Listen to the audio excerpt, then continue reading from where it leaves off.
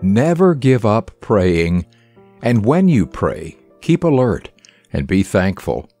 Be sure to pray that God will make a way for us to spread His message and explain the mystery about Christ, even though I am in jail for doing this. Please pray that I will make the message as clear as possible. When you are with unbelievers, always make good use of the time. Those words come from Colossians chapter 4, verses 2 to 5. The Apostle Paul prays that he will be able to spread his message and explain the mystery about Christ. The message is the good news about Jesus Christ and what he did for all of us. Jesus paid the price for your sins and mine. Because of what Jesus did, I do not have to suffer eternally in hell. Now that really is good news. But what is the mystery about Christ? Well, the good news is about what Jesus did, and I believe the mystery about Christ focuses on who Jesus is.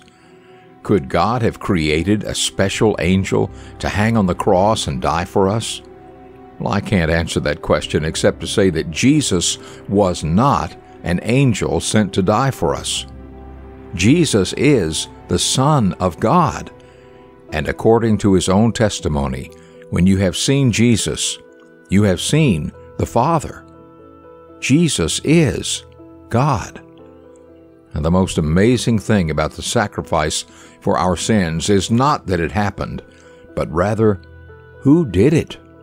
The mystery about Jesus is not that he loves us, but rather that he is God and he loves us. If the Creator of all there is not only formed you in your mother's womb, but also loves you enough to come to earth himself and die for your sins. That is a jaw dropping reality. Spread the good news about what Jesus did for you and your sins, but also explain the mystery about Christ. When you hold tightly to the truth of who Jesus is, the lies of Satan lose their power to control your mind. Your Creator is also your Savior.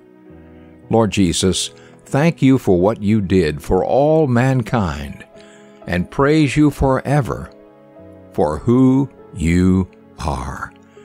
May your glorious and righteous name be praised for all of eternity. Amen.